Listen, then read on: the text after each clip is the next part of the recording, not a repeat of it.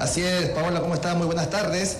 Eh, se ha generado gran controversia en el Congreso luego de conocerse eh, estas palabras de un dirigente del FENATEP, este sindicato de maestros muy ligado al expresidente vacado Pedro Castillo y que incluso se le vinculó también a este sindicato con eh, el Movadef, que es la fachada del sanguinario grupo terrorista Sendero Luminoso. ¿Qué ha sucedido? Uno de sus integrantes del FENATEP, un maestro cesado de nombre Jimmy Calla, que representa al Callao, había señalado junto a sus compañeros que había que, eh, digamos, usar las armas para buscar la restitución y la liberación del encarcelado hoy Pedro Castillo, expresidente de la República, eh, que intentó un golpe de Estado. Y esto, sin lugar a dudas, ha generado controversia en el Parlamento porque, por ejemplo, el congresista Jorge Montoya de Renovación Popular indicó de que esas expresiones son suficientes como para que se inicie una investigación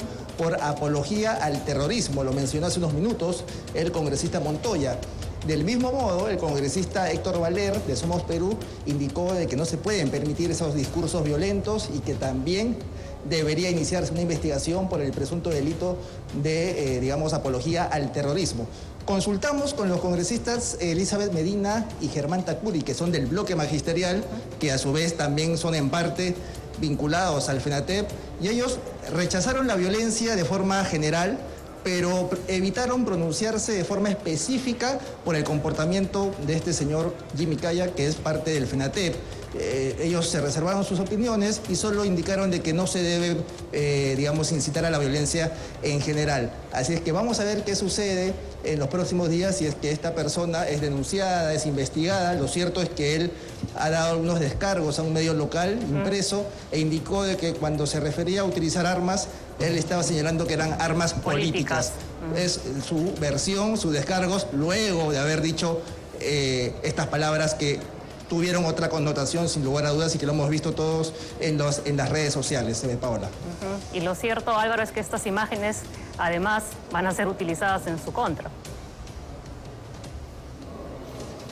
Así es, porque es un registro audiovisual, es un video que muestra claramente eh, las palabras que tuvo esta persona y que ya las autoridades se encargarán de evaluar y determinar si es que hay algún hecho punible ahí, es algo que le corresponde ya a las autoridades, pero sin lugar a dudas este discurso incita al odio, a la división, a la violencia, en un momento crítico para el país donde ya estamos en una crisis política bastante grande, Paula. Así es, ¿no? Y estas excusas, estos argumentos que ha dado ahora, no, de que no nos referíamos a levantarnos en armas, sino estamos hablando de algo político, no convence, no convence en lo absoluto.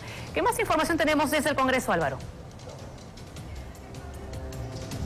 Bueno, ya se ha conocido que el caso del ex congresista Freddy Díaz, quien fue acusado de violación sexual, ya pasó por el control de acusación, es decir, la etapa intermedia del proceso judicial ya se terminó y solo falta que se envíe un documento al Poder Judicial para iniciar ya el juicio oral como tal contra el ex congresista Freddy Díaz. Esto sería ya para el mes de marzo, donde se iniciaría ya el juicio oral, donde tendrá que defenderse, dar sus últimos argumentos y un juez tendrá que determinar si es culpable o inocente. Este caso se remonta a julio del año 2022, luego de la denuncia pública hecha por una ex trabajadora de su despacho, se inició un proceso eh, en la subcomisión de acusaciones constitucionales que terminó con el desafuero del congresista Díaz para que sea procesado ya como cualquier ciudadano y es lo que está sucediendo en este momento. Ya, hubo investigación, ya hubo acusación y ahora falta el juicio.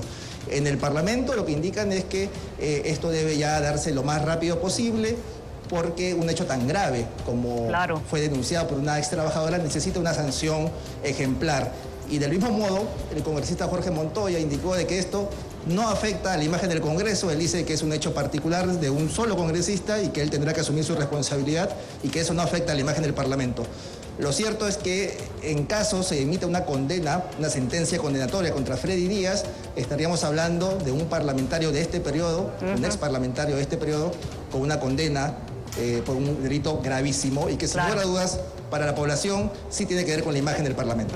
Claro que sí, y la Fiscalía Álvaro está pidiendo 20 años de cárcel para el ex congresista Freddy Díaz. Como bien lo has mencionado, este juicio oral comenzaría en marzo, porque en febrero son las vacaciones judiciales. Exactamente. Eh, la etapa más eh, complicada ya terminó, que es la investigación preparatoria y el control de acusación. Ya se daría luz verde para el inicio del juicio oral. Y justo conversamos con el congresista Luis Aragón, quien fue el ponente de la denuncia constitucional cuando estuvo esto en la subcomisión, y él indicó de que hay suficientes pruebas para que se logre una sentencia condenatoria en contra de Freddy Díaz. De hecho, la Fiscalía está presentando ya a al menos cinco testigos y más de 18 pruebas para este juicio oral, con lo que eh, esperan conseguir una condena. Muy bien, Álvaro, muchísimas gracias y sobre todo justicia para la propia ah, víctima. Bueno, decía el congresista Montoya que esto es un hecho aislado, pero lo cierto es que sí mancha la imagen del Congreso que ya de por sí cuenta con una desaprobación altísima. Muchísimas gracias a nuestro compañero Álvaro, Álvaro Cisneros, con la información desde el Congreso de la República.